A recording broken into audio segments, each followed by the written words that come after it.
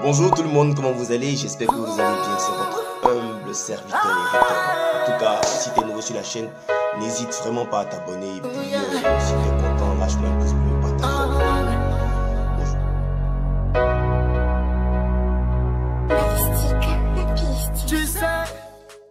Hey yo, salut les gars, comment allez-vous? J'espère que vous allez très bien. Bienvenue sur ma chaîne YouTube. Les amis, aujourd'hui, on se retrouve pour un sujet très crucial. Vous le savez tous maintenant euh, sur notre télé. On ne fait que parler de, euh, de ce sujet-là. C'est-à-dire quoi? Le coronavirus. Alors les amis, j'aimerais avec vous aujourd'hui euh, traiter de ce sujet-là et aussi donner mon avis un peu sur les différentes méthodes qui sont appliquées par les pays afin de pouvoir éradiquer ce fléau-là qu'on appelle le coronavirus. Donc les amis, sans plus tarder, juste après le générique, on se retrouve pour la vidéo.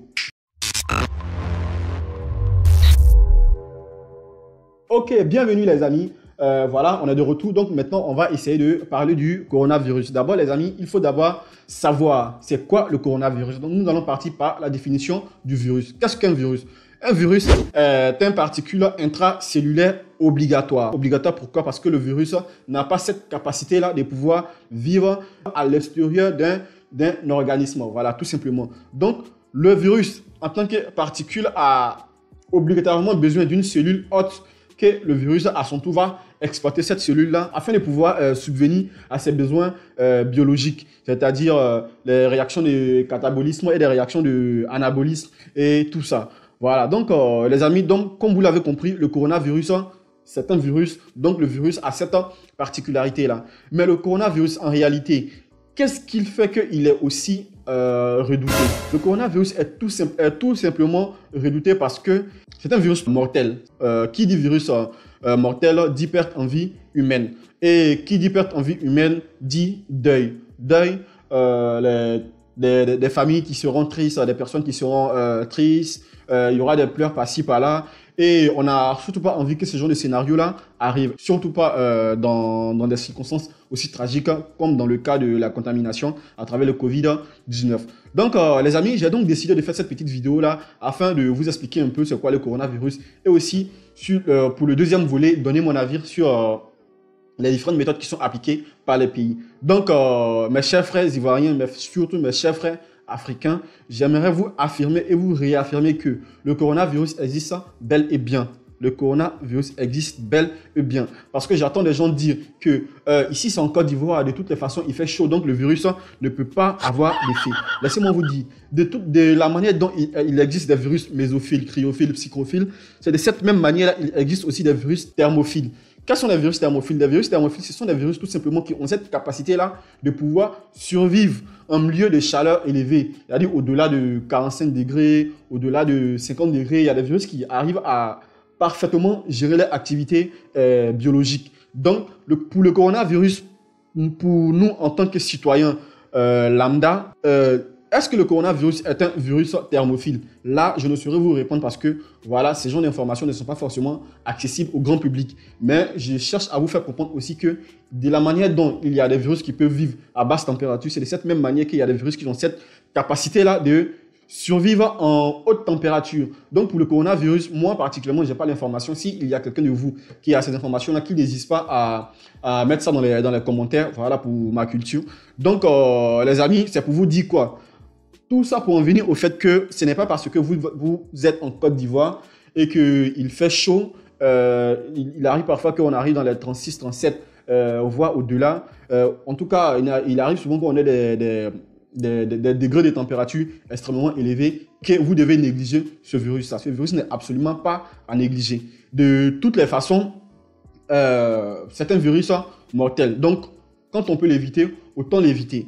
Et nous connaissons tous un peu plus ou moins les symptômes du virus, c'est-à-dire le rhume. Vous allez peut-être avoir souvent euh, euh, un léger mal de tête, une augmentation de la température corporelle et aussi également le fait que euh, ce virus-là, lorsqu'il arrive à sa phase terminale, il va introduire ce qu'on appelle euh, les difficultés respiratoires. Vous allez avoir du mal à respirer. Donc, du moment où un être humain arrête de respirer, tout être vivant arrête de respirer, euh, nous connaissons automatiquement la suite. Donc, les amis, je vous dis et je, vous affirme et je vous réaffirme que ce virus existe bel ou bien. Donc, attention à vous. Nous qui sommes ici en Italie, voilà, donc pour ceux qui ne le savent pas, je suis en train d'enregistrer cette vidéo-là depuis l'Italie. Nous avons, de la même manière que vous êtes en train de le faire, négligé ce virus-là dans les débuts, surtout le gouvernement italien qui n'a pas décidé de sonner la lettre rouge le plus tôt possible. Et voilà les conséquences. Aujourd'hui, nous, nous trouvons avec un taux de mort euh, extrêmement élevé, voire même qui dépasse celui de la Chine où le virus a été découvert. Et c'est très dramatique. Et laissez-moi... Euh, Laissez-moi euh, essayer de vous faire raisonner un peu sur, sur quelque chose. Ici, nous sommes en Europe, nous, vivons ici en Europe. Et nous savons tous comment le système de santé ici en Europe est développé. Nous savons tous comment le gouvernement, les gouvernements européens arrivent à gérer le système de santé à travers les différentes infrastructures qui sont mises en place. Et nous sommes tous d'accord que euh, l'Afrique se trouve loin, loin, loin, loin derrière l'Europe en matière de santé. Voilà, peut-être pour d'autres choses, nous sommes devant eux, mais en matière de santé, nous nous trouvons loin, loin derrière eux. Et voilà l'Italie qui, aujourd'hui, a du mal à gérer ces cas de coronavirus. Imaginez un peu ce virus-là, s'il arrive à, prendre de l'ampleur euh, en Afrique. Vous voyez que ça sera, plus que catastrophique parce que nous avons pour habitude d'attendre les aides financières de la part de l'Europe et tout et tout. Euh, mais eux-mêmes, comme on le dit chez nous, ils sont en train de se chercher. Donc, en se cherchant, est-ce que nous, ils euh, chercheront aussi à, nous venir en secours? On ne sait pas. Donc, autant vaut essayer de prévenir plutôt que d'essayer de guérir. Donc, les amis, les différentes consignes qui ont été données par les différents gouvernements, c'est-à-dire le lavage des mains, euh, éviter les endroits de grands, euh, de grands rassemblements, éviter surtout, peut-être que ça n'a pas été dit, mais éviter surtout les sorties inutiles. Si tu sais que où tu sors pour aller là, ce n'est pas pour aller faire quelque chose d'essentiel. Il est préférable pour toi de rester chez toi à la maison. Ne sors pas, laissez la sortie inutile. Lavez-vous la main, restez à la maison. Voilà, sortez quand c'est nécessaire. Respectez aussi le couvre-feu et évitez les endroits de grands rassemblements. Et surtout, ce qu'il faut éviter aussi, c'est le euh, c'est de dire que voilà, comme le coronavirus, après Abidjan, j'ai peur, je fuis, je vais euh, par exemple au village. C'est très c'est un, un comportement qui euh, un comportement naïf derrière, euh, lequel il n'y a pas forcément une intention mauvaise, mais qui peut avoir des conséquences très graves. Parce que toi, tu es là, tu fuis Abidjan, tu dis tu vas au village parce qu'il n'y a pas de coronavirus au village. Qu'est-ce qui prouve que toi-même qui es en train de fuir là, tu n'es pas, un, porteur sain? Parce qu'il existe, il existe ce qu'on appelle des porteurs sains et des porteurs qui font la maladie. Voilà, donc tu peux avoir le coronavirus euh, et être dans, dans une phase totalement stable sans, sans faire la maladie. Voilà. Et toi, en tant que porteur sain, tu peux, tu te lèves, tu dis, tu vas rendre visite, ou tu fuis pour aller au village dans le but de te protéger. Mais en allant au village, sans t'en rendre compte, tu transportes le virus avec toi. Et ce virus-là peut, euh, tu peux toi aussi à son tour le transmettre à tout ton village sans t'en rendre compte. Ton intention n'était pas mauvaise de, de, de, de, fuir pour aller à, dans ton village, mais cependant, en allant au village, tu as transporté avec toi le virus et tu as partagé aux gens. Et c'est là que ça devient encore plus dramatique. Donc, évitez les déplacements inutiles, restez chez vous à la maison. Voilà, euh, j'espère que d'ici euh, un, à deux mois, on va, trouver une, euh, on va trouver une solution parce que vu que c'est un problème de santé mondial, ça ne concerne pas que l'Afrique, ça ne concerne pas que l'Italie, ça ne concerne pas que la Chine, mais ça concerne le monde entier. Donc chacun, a, chacun de son côté a l'obligation de travailler afin de pouvoir éradiquer ce fléau qu'on appelle le coronavirus. Concernant maintenant les différentes méthodes qui sont appliquées, quand je prends le cas de la Côte d'Ivoire, euh, j'ai eu à, voir des vidéos qui circulaient sur la toile dans lesquelles euh, on voyait des personnes se faire tabasser. on voyait des personnes, euh, on voyait des personnes se faire filmer lorsque on, leur, on portait atteinte à leur intégrité physique. Et ensuite, ces vidéos-là, elles étaient publiées sur Facebook. J'aimerais alerter le gouvernement ivoirien pour dire que c'est un comportement qui est très risqué. Voilà, c'est un comportement qui est très risqué et euh, le fait de porter atteinte à l'intégrité physique des personnes n'est pas forcément la meilleure des méthodes. Ici, par exemple, il existe des méthodes et telles que les amendements et autres.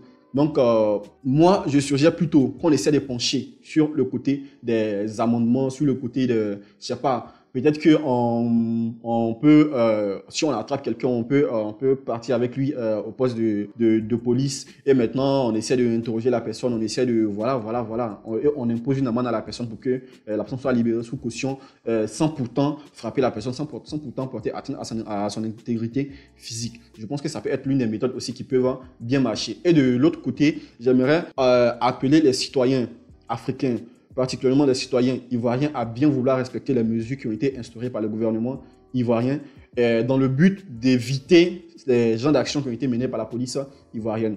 Voilà, donc restez chez vous à la maison, lavez-vous les mains, le Covid-19 est une réalité. Euh, protégez-vous, protégez votre famille, protégez ceux qui vous sont chers en évitant de sortir euh, pour faire des balades inutiles. Portez vos masques, lavez, lavez, lavez les mains avec des solutions hydro alcoolique et surtout euh, portez-vous bien les amis. Donc euh, les amis, euh, j'espère que cette vidéo vous a plu, partagez la vidéo et surtout faites en sorte que cette vidéo soit vue par des milliers de personnes afin que les gens puissent, on puisse sauver ensemble des vies. Et surtout abonnez-vous à la chaîne et à bientôt. Ciao